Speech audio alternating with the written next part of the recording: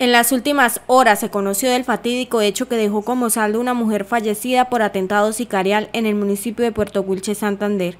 Hay conmoción en los habitantes de esta municipalidad. Los hechos ocurrieron en la mañana de este jueves 27 de junio cuando sicarios llegaron hasta un local de costurería donde se encontraba la señora Yoli María Tolosa, reconocida modista de este sector, y sin mediar palabras dispararon en contra de su integridad física en varias ocasiones.